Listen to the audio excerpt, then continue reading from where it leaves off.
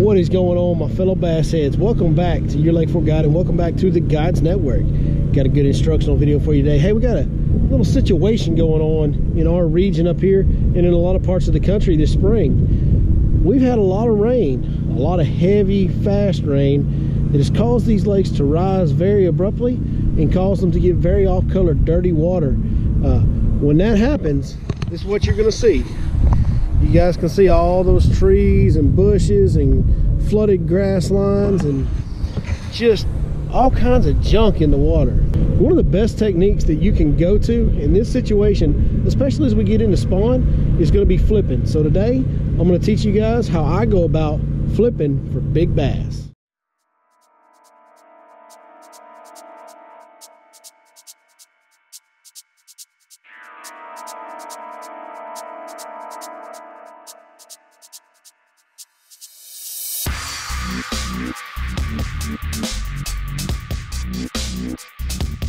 Yeah.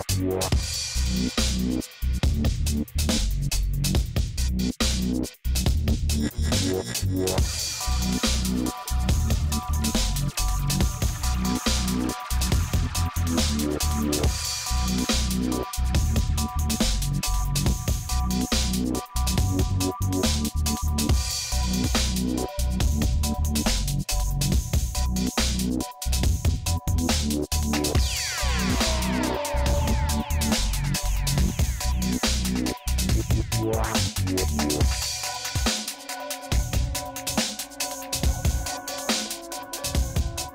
right, so before I just break off into the gear and the technique and all the goods that come with flipping, what we're going to talk about today, let's go over a little bit of situational, you know, awareness, I guess, for lack of a better term. What's going on? This water's come up and flooded all this new cover. The water's dirty.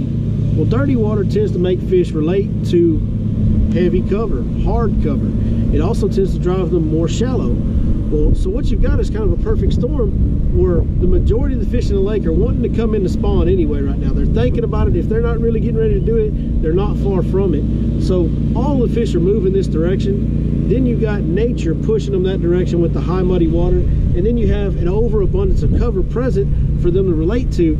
So a happy fish is going to be right up here in this stuff right now. That's where they're going to be. They're going to make their beds tucked way back in that stuff you'll find their beds right up on the bank line, tucked up under overhanging trees and in the little holes in these flooded grass mat type things. And you know, they'll just get in the thickest of thick as they go about making their beds. They'll find one little hole and just living their day-to-day -day lives, chasing bait, ambush and prey. You know, everything that they need to do, they can do in that really shallow flooded cover. So that being said, it's very important to be able to access that cover efficiently. And one of the best ways to do that is flipping, of course. You got to be able to pitch it underhanded a little bit. You got to be able to skip it a little bit. And we're going to talk about, I'm going to try and teach you guys how I go about doing both of those techniques. Uh, now let's go ahead and break into our gear and our baits. So I don't want to go too much into baits because honestly, the baits that you can use for flipping is virtually unlimited uh, when it comes to the different plastics you can use. Uh, the Lake Fork Tackle Hyper Freak is a great one. The Zoom brush hog, baby brush hog is a great one. Um, there's just a million. The Berkley Chigger Crawl. I mean, there's tons of them out here. This is a new one that I'm really excited about because it might be just a little bit of a slightly different look and it's brand new so these fish haven't seen it yet. It actually comes from the same people that make my rods. Limit Fishing makes this brand new, it's just Limit Fishing Creature Crawl is all it is. But I'll give you guys a good look at it here.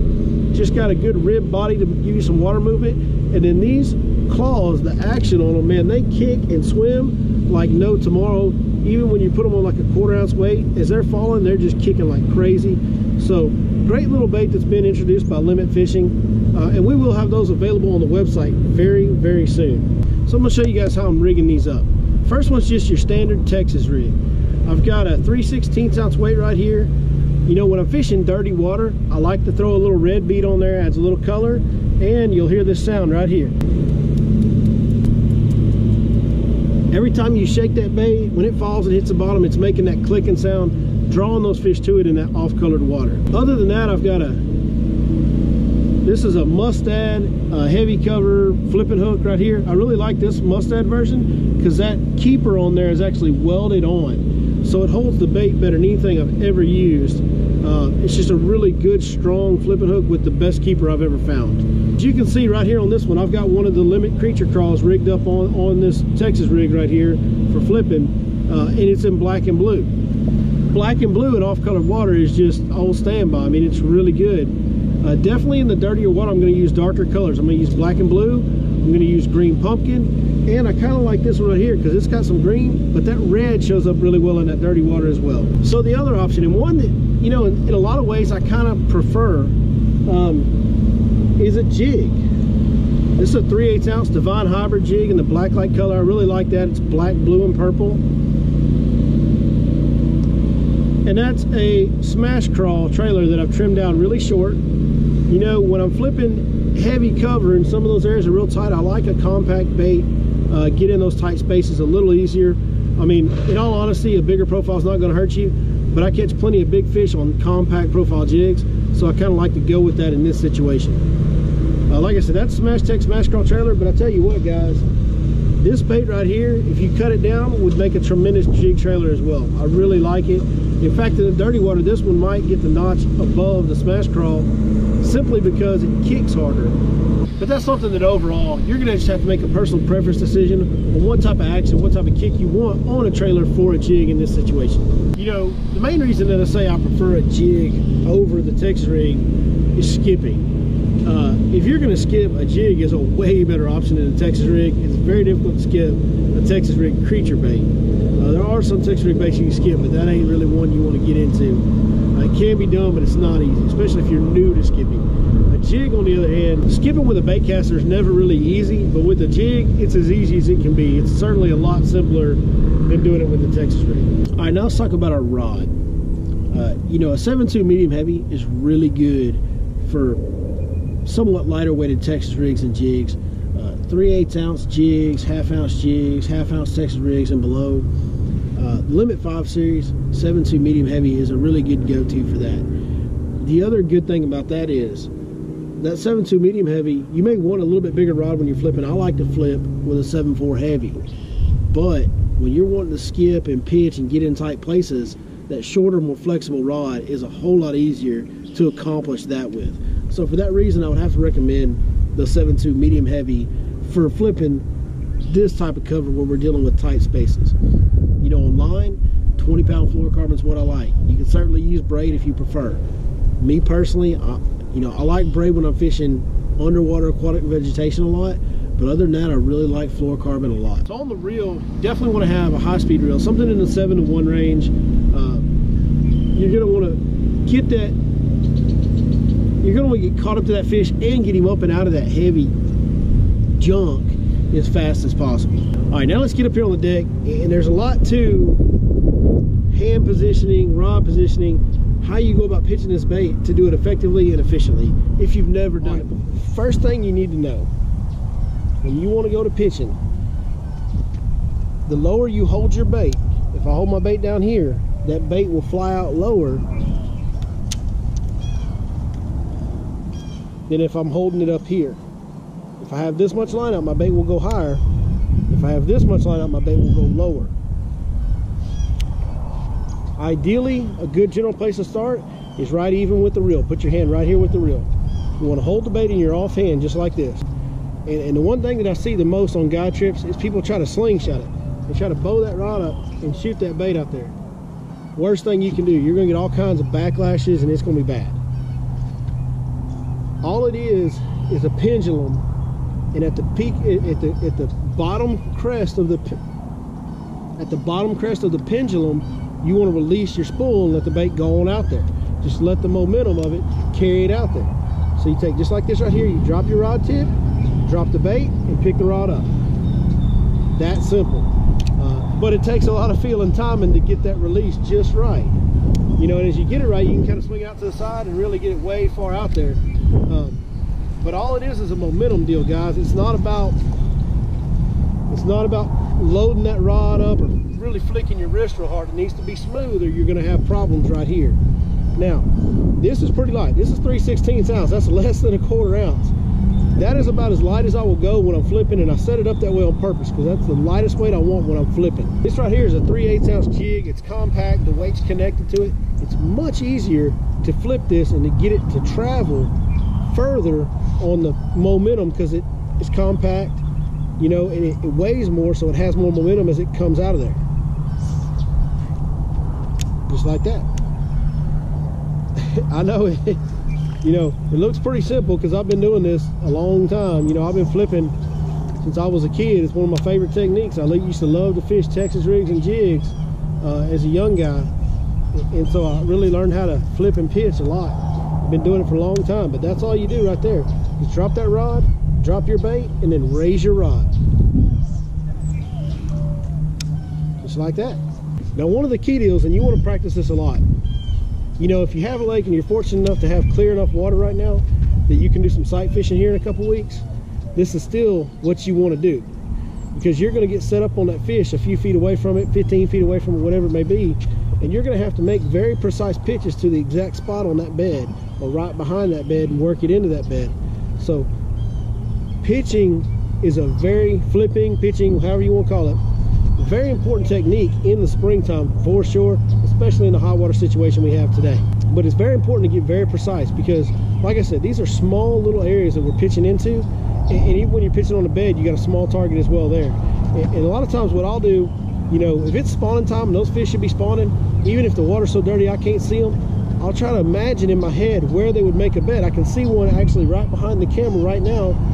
Grass mat comes out makes a little cut there's some brush up against the bank. I could see a bass bedded in there.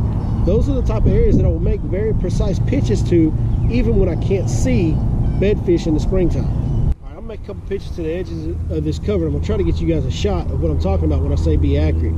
Hoping this is gonna show up on camera. See where we put that one right there? We just stuck that one right in between the grass bed and the brush on the bank. That's perfect placement. All right, now there's a patch of green. Let's see if we can get this right up next to, there's a green bush hanging down in the water over there. And we'll see if we can get this jig right up next to that green bush.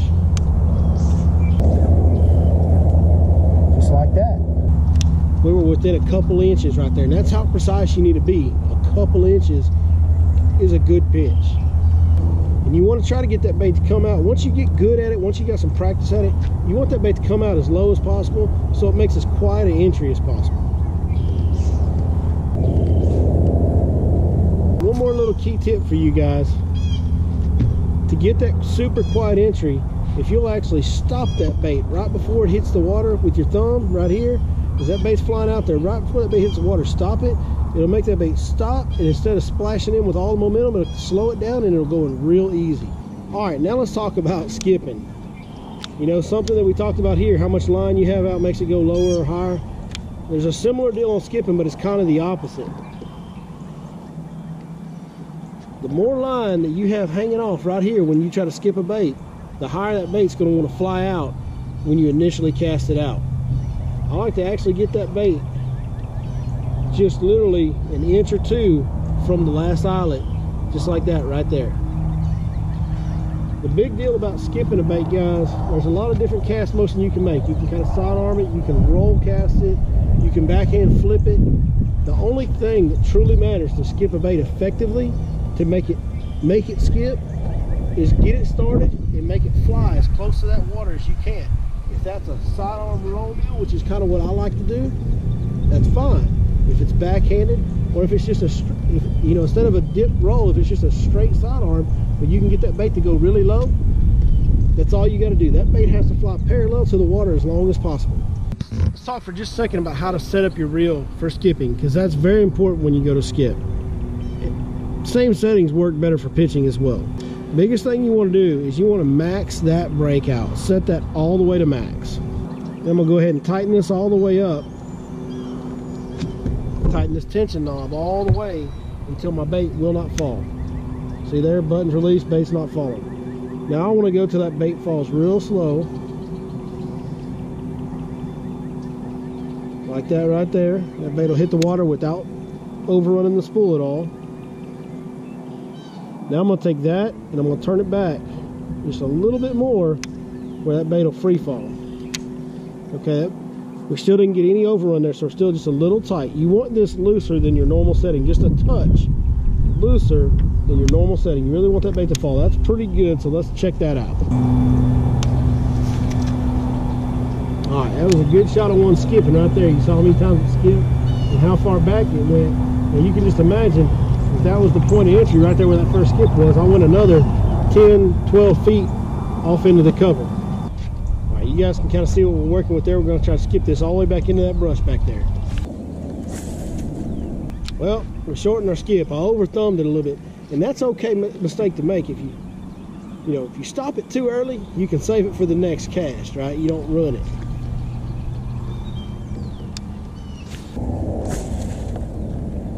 That's what we're talking about right there, guys. That's getting it back in there, as far back in there as it'll go right there.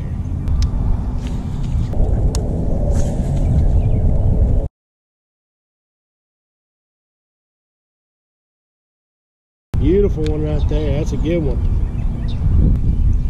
Well, there you go, guys. There's the baits I use, the gear I use, and the techniques that I use to get compact Texas rigs and jigs into tight areas in that flooded cover for dirty water flooded cover springtime bass. Well, hey, that's it for how to on the flipping. Look, we don't have any fish catch footage on that just yet. This situation just happened, but I wanted to go ahead and give you guys all the information because I know a lot of you are in the same situation I am right now, and this is gonna be a very important technique for me over the next month or so. If you're interested in, in checking out the gear that we're using today, be sure and click the link below to yourlakeforkguide.com. I have an online store there. My rods are for sale there. Some of the baits that we use are for sale there as well. And hey, if you want some of these 6th Sense Divine Hybrid jigs, 6th Sense Lures is also linked below. And if you guys will enter the promo code, Your Lake Fork Guide, all lowercase, all one word, you'll get a 10% discount on anything you buy from 6thsenselures.com. Well, that's it for today, folks. I sure enjoyed teaching you about this. One of my favorite techniques. I can't wait to start popping some big heads on it. And uh, I hope you guys can do the same, and I hope this helps you out. We sure appreciate you guys watching the video today. Hey, if you like this video, do us a favor. Hit that thumbs up. If you want to see more, be sure and subscribe.